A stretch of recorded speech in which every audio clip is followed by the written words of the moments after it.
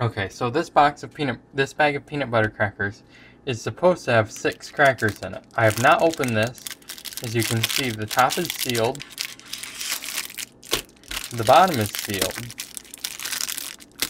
The sides are sealed. The back is sealed. Back under here is sealed. But the crackers have one, two, three, four, five crackers. I'm done.